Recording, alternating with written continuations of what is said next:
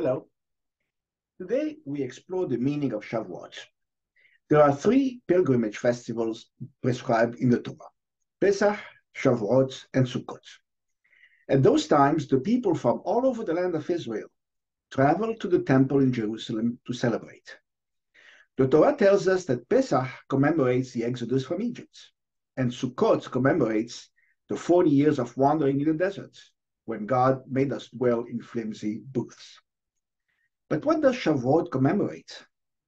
Most Jews will say it commemorates the giving of the Torah on Mount Sinai. In fact, the holiday is also called the time of the giving of, of our Torah, Zeman Matan Toratenu.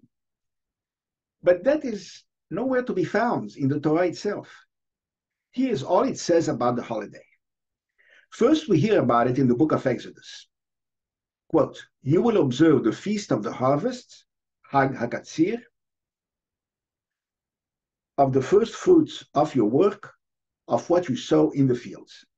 You shall observe the feast of weeks, Hag Shavuot, of the first fruits of the wheat harvest, and the feast of ingathering, Hag HaAsif, at the turn of the year. Then it is mentioned in the book of Leviticus, quote, and from the day when you bring the sheaf of elevation offering on the morrow after Shabbat, you shall count off seven weeks. Sheva, Shavuot. They must be complete. You must count until the day after the seventh week, 50 days. Then you shall bring an offering of new grain to the Lord, two loaves of bread as an elevation offering. You shall also present seven yearling lambs without blemish, one bull of the herds, and two rams with their meal offering and libations. You shall also offer one he goat as a sin offering and two yearling lambs as a sacrifice of well being. On the same day you shall hold a celebration. It shall be a sacred occasion for you. You shall not work at your occupations. This is a law for all time in all your settlements throughout the ages. Then in the book of Numbers, quote, on the day of the first fruits, Yom HaBikurim, your feast of weeks, Shavuot, when you bring an offering of new grain to God, you shall observe a sacred occasion. You shall not work at your occupations. Finally, in the book of Deuteronomy, you shall count off seven weeks. Start to count the seven weeks when the sickle is first put to the standing grain. Then you shall observe the Feast of Weeks, Shavuot, offering to God your free will contribution. You shall rejoice before your gods with your son and daughter, your male and female servants, the family of the Levites in your communities, and the stranger, the fatherless, and the widow in your midst, at the place where your God will choose to establish the divine name. End of quote. On Shavuot, it's customary to read the book of Ruth. Why? Because the action is set at the time of the gathering of the grain, and the harvest is part and parcel of the story. So to summarize, the name of the festival, Shavuot, means weeks and refers to the seven weeks of the counting of the Omer, beginning on the second day of Pesach. It's also called Hag HaBikurim, the feast of the first fruits, and Hag HaKatzir, the feast of the harvest. It celebrates the season of the grain harvest in Israel, which lasted seven weeks. That season began with barley on Passover and ended with wheat, wheat seven weeks later. It was a happy time to be celebrated by great communal rejoicing and a feast. Work restrictions applied, like for Shabbat and other holidays. The Mishnah says that on Shavuot, pilgrims offer their first fruits, bikurim, to the Kohanim in the temple in Jerusalem. These fruits were the seven species mentioned in the Torah wheat, barley, grapes, figs, pomegranates, olives, and dates. But nothing is said about commemorating the giving of the Torah.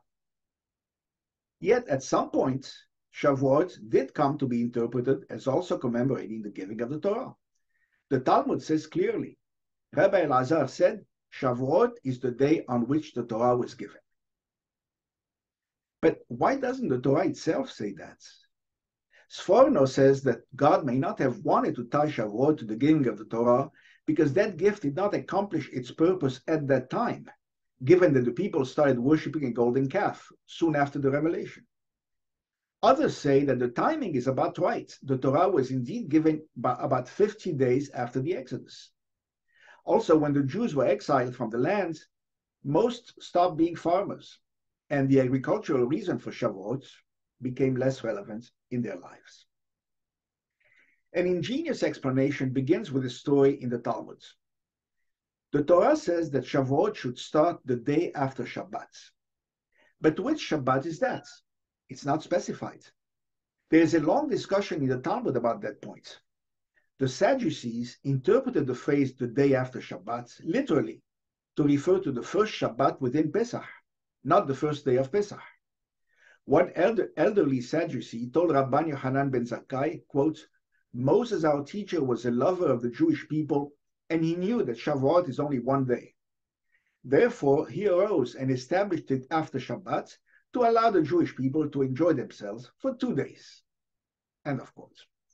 So the Sadducees believed God added a day to Shabbat to give the people a full weekend off after their hard labor in the fields. That this did not fly with the Pharisees, the rabbis, because if you assume that the Shabbat in the verse is the first Shabbat in Pesach, it will vary from year to year, and so will the timing of Shavuot. So the rabbis decided that the Torah meant the first day of Pesach, interpreted as a Shabbat, a day of rest, which it also is. This put, this put the day of Shavuot at the 6th of Sivan. Rabbi Menachem Kasher from Poland and Israel suggested the rabbis wanted to counter once and for all the Sadducees' claim that Shavuot is always on a Sunday. So they tied Shavuot to a fixed historical event, the giving of the Torah.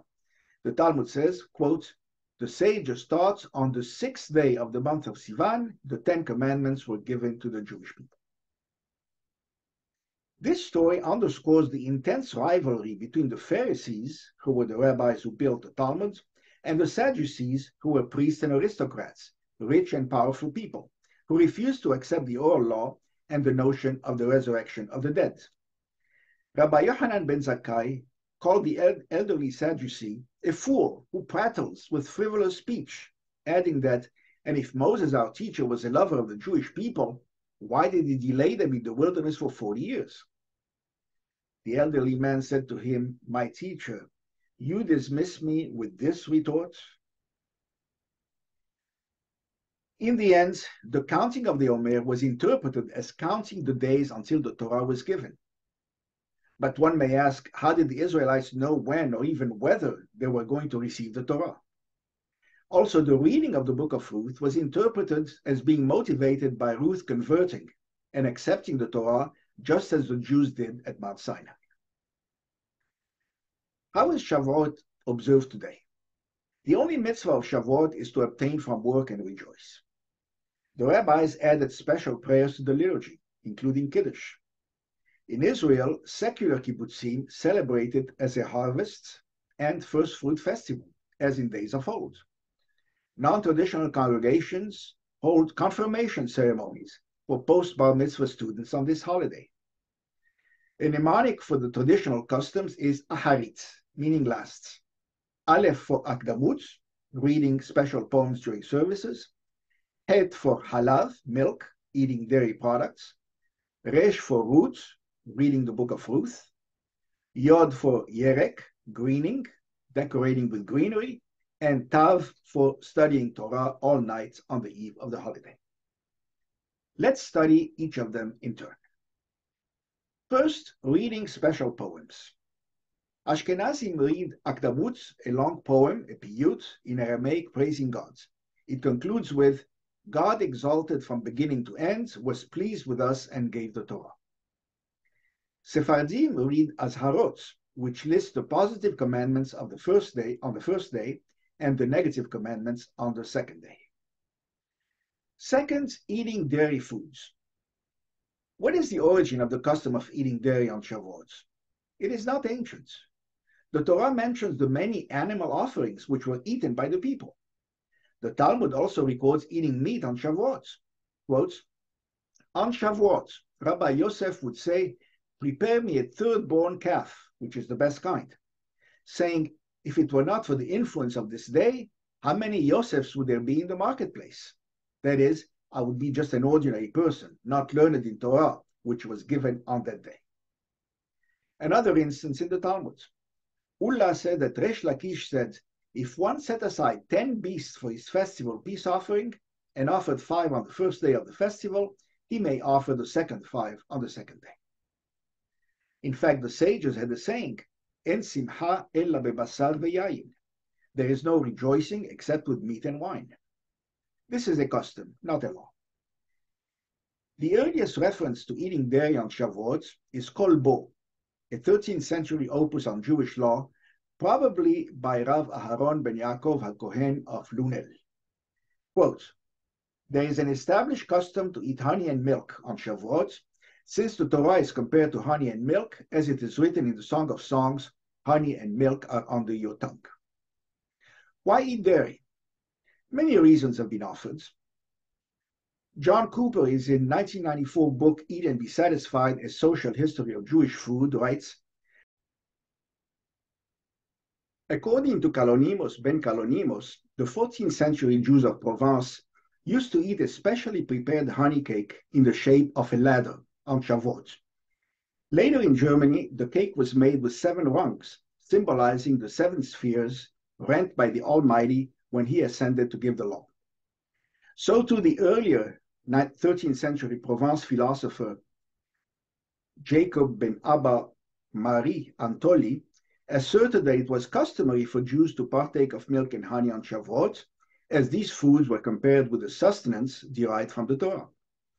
In Central and Eastern Europe, dairy foods replaced the honey cake of Provence on Shavuot, partly because there was an abundance of milk at this time in the year and partly because dairy dishes were the standard festive food at that time of year in several parts of Germany. There are also mystical reasons. The book Hag HaShavuot says, why is Torah likened to honey and milk? Honey comes from a bee, which is not kosher, and milk comes from a live animal whose meat is forbidden until the animal is slaughtered. But honey and both honey and milk, therefore, allude to the power of Torah which can transform a solid soul into one of holiness and purity. Also, the gematria of milk, halav, in Hebrew is 40. It reminds us of the three sets of 40 days that Moses spent on Mount Sinai to receive the Torah. There were also 40 generations from Moses, who recorded the written Torah, to Ravina and Rav Ashi, who completed the Talmud. Finally, the Talmud begins and ends with the letter Mem, which has a gematria of 40. Also, the Midrash notes that Mount Sinai is also known as Har Gavnunim, the mountain of majestic peaks. The Hebrew phrase, the Hebrew word for cheese is Gevina, which has the same root. Gevina has a gematria of 70, corresponding to the 70 faces of Torah. This connects Torah and Sinai with milk. Also, before the Torah was given to the Israelites in the deserts, the laws for the ritual slaughtering of animals, or shechita, were not known. So to be on the safe side, they simply ate dairy meals. Another reason is that receiving the Torah was like being born again. So we celebrate by eating baby food, namely milk. Finally, the Torah says, on your holidays of Shavuot, when you offer new grain to God, the initials of the four Hebrew words spelled mehalav, from milk, pointing to eating dairy on Shavuot. Sephardic Jews, however, eat both dairy and meat on Shavuot.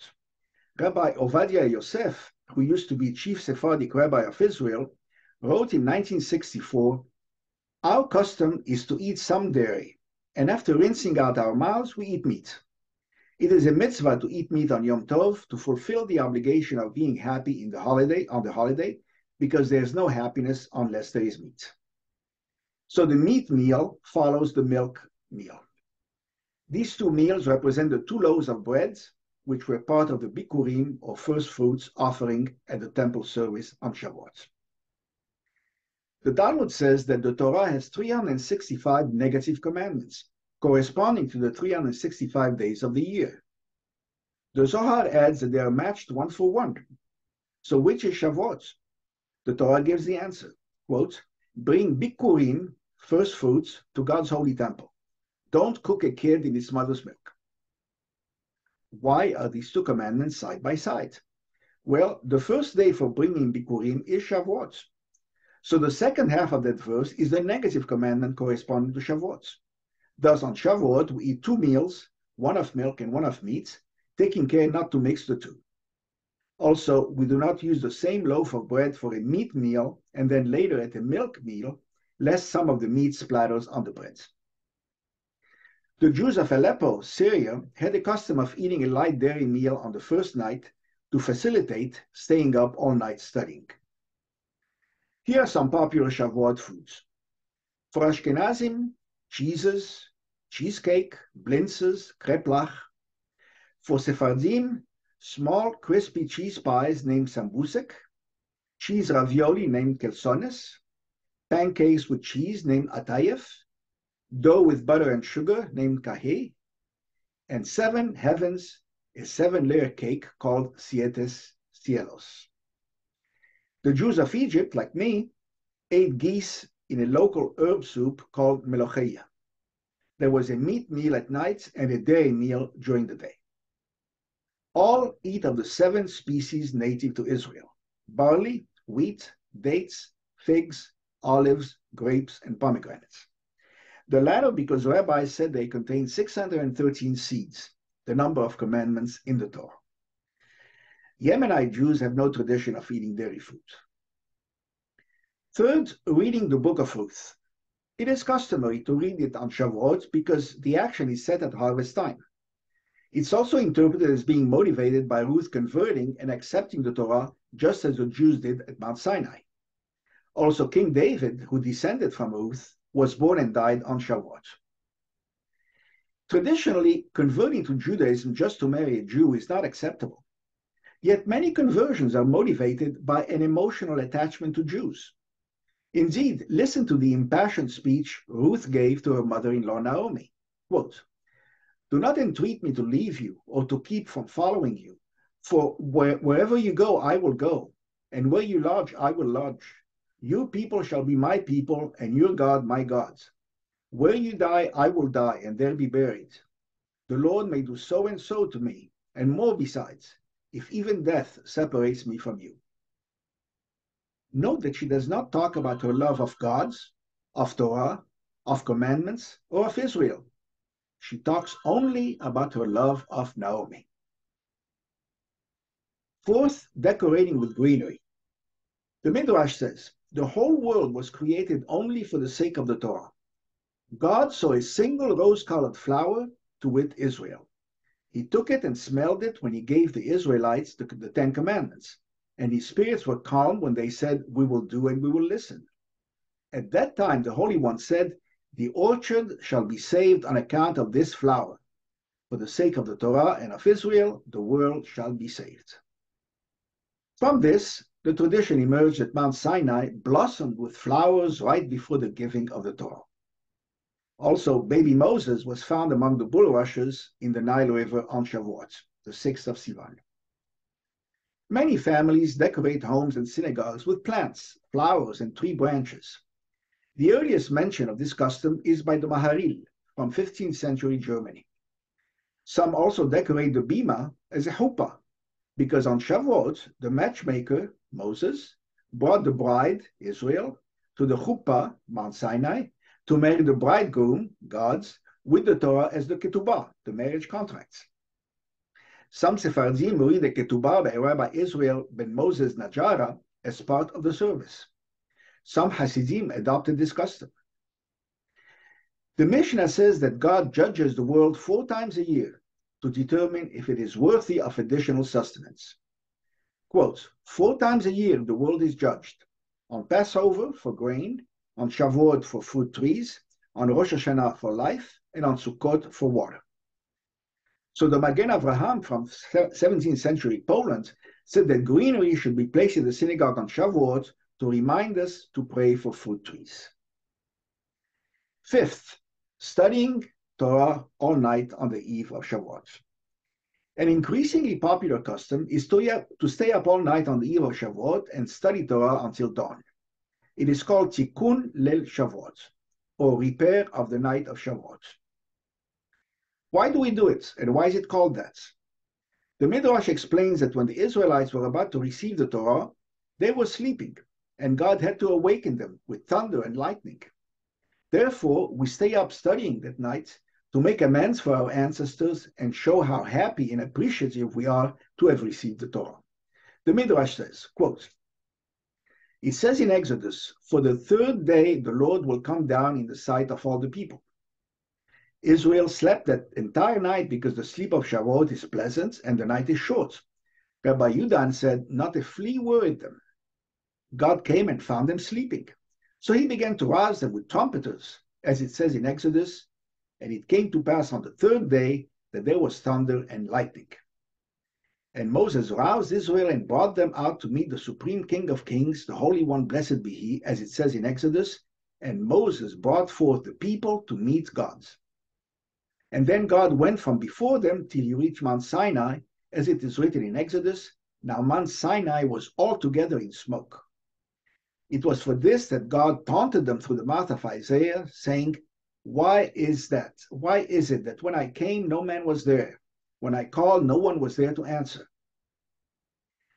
The custom is based on the Zohar, which states that the original pious ones would not sleep that night and they toiled in Torah. Quote, when Israel drew near to Mount Sinai, that dew that descends from the supernal points came down in its fullness and purified them so that their filth left them and they became attached to the holy king and the community of Israel and received the Torah. Any man who does not count those seven complete weeks, the Omer, so as to qualify himself for purity, is not called pure. But if a man has reached this day in purity and has not lost counts, then it behooves him on this night to study the Torah and to preserve the special purity to which he has attained on that night. The pious ones of old used not to sleep on this night, but they used to study the Torah. What to study is generally left up to the individual. Some groups have the, have the participants take turns in presenting a short Devar Torah. A canonical reading package has evolved that includes excerpts from all major Jewish sources as follows. First, read from the Torah, three to seven verses from the beginning and the end of each of the 54 weekly Torah portions. Some important sections should be read in full, such as the days of creation in Genesis, the Exodus and the Song at the Sea, the giving of the Ten Commandments on Mount Sinai, and the historical review in Deuteronomy and parts of the Shema. Second, read from the prophets, three to seven verses from the beginning and ends of every book. However, the reading from Ezekiel should be the entire first chapter, which talks about the Merkava, or fiery chariots, and the readings from Treyasar, or the 12 prophets, considered as one book, should be specific verses from Hosea, Habakkuk, and Malachi. Third, read from the writings, the book of Ruth in full, as well as five specific Psalms 1, 19, 68, 119, and 150. Fourth, read from the Mishnah or Oral Law, the beginning and the end of each of the 63 tractates with some important chapters in full. Fifth, read Sefer Yetzirah, the book of creation, it is the oldest Kabbalistic text, about 2,000 years old. Sixth, read the list of the 613 commandments, the Tariag. Maimonides' list is the most authoritative. Finally, read from the Zohar, the book of Jewish mysticism, excerpts bearing on the subject with opening and concluding prayers. The whole reading is divided into 13 parts, after each of which Kaddish de Rabbanan is recited. Some have called Shavuot the forgotten holiday because its celebration is eclipsed by the more colorful celebrations of the other holidays. It's up to us to revive it. So, Chag Sameach, study well, and enjoy cheeses.